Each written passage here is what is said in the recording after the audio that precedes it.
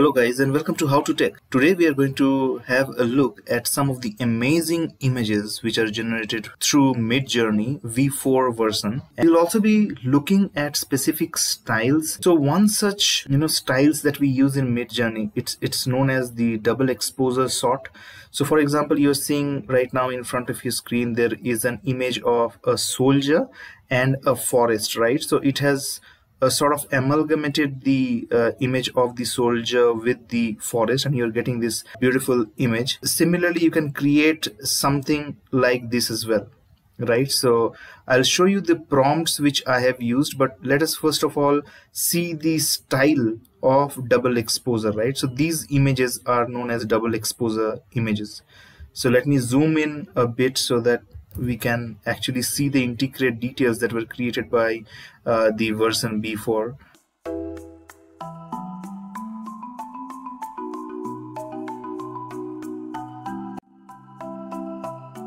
so let's go ahead and take a look at the prompts now. Is minimalist double exposure world war one veteran soldier made of red poppies and yellow mud dripping right? So which is why you are seeing the dripping effect. And you'll be having four different images and you have to choose uh, the one which is meeting your needs. So this is what i liked about the image which is why i went ahead to upscale the uh, image one. After upscaling this is what uh, i got. And then i also did a beta upscale redo okay? And using this beta upscale redo is the one that you are seeing right now So this is the main thing that I have used double exposure, right? It is going to combine your World War One veteran soldier with red poppies and yellow mud. For the next double exposure shot, what I have given is uh, I have written it as a character design. Again, uh, you have to specifically mention this as a double exposure shot. Uh, front profile of a beautiful arcane ranger right so this is going to combine your arcane ranger with a a burning village filled with burning village right? So soldier plus village in short. After that again ai gives you four different images out of which i liked this particular image. Uh, using a beta upscale redo i have actually upscaled the this particular version which is where you're getting this particular image.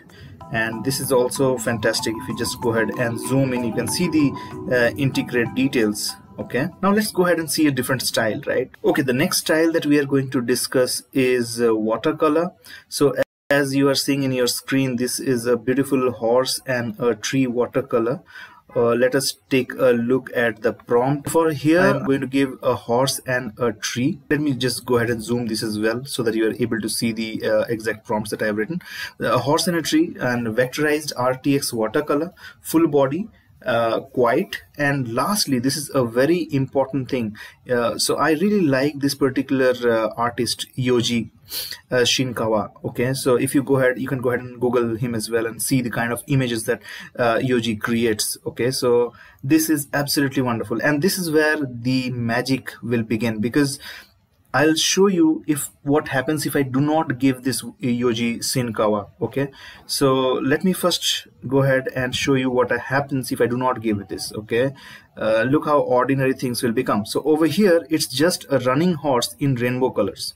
Vectorized RTX watercolor full body right? So this is what AI has given me. And let's be honest I do not think that's uh, that it's great. I mean it's good but it's not that great. Not uh, in the level of Midjourney. So what I did was I combined this and now I changed this to a horse and a tree, right? And instead I kept the all the other uh, you know uh, words as same but at the end I just added by Yoji Shinkawa and after adding this this is the effect that you are seeing right and I think this is absolutely stunning if someone loves watercolor man you are in for a treat. So let me go ahead and uh, you know show you how I created the uh, actual image that I picked. So out of these four images generated by AI I really like the first one. I went for upscaling the first image and this is what I got. After that I did a light upscale redo of this particular image and then I was able to generate this uh, I was also experimenting with uh, colorful stuff. So um, the the all the other prompts remain same but I would go ahead and do uh, I'll just add a word called colorful. So if entire thing is the same the entire prompts are going to remain the same. Only one change I have added the word colorful. Once you add that you're going to get you different variants of colors for all the four uh, images. And after that I really like the first one which I went ahead and did an upscaling.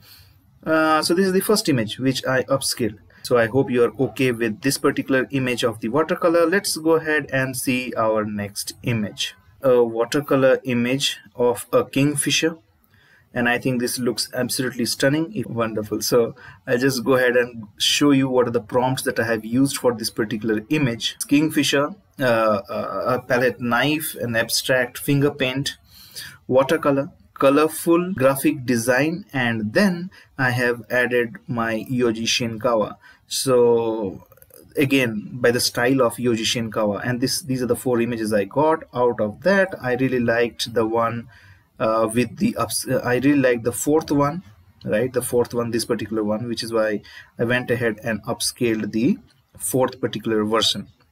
So I hope you're able to see the prompts and you're okay with the prompts of the Kingfisher. That we end the watercolor session and go towards the oil paint. This is the first image where the trees if I go ahead and show you the prompts it will be more clear. This is a Norwegian forest and the trees that has come out of the oil painting is just fabulous.